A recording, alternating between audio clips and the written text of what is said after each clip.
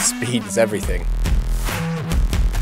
This is where I'm happy. I love going faster than 100 kilometers an hour. I want to push myself even further and prove that I can do it.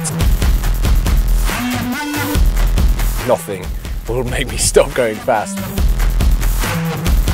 My name's Jamie Barrow and I'm a professional snowboarder.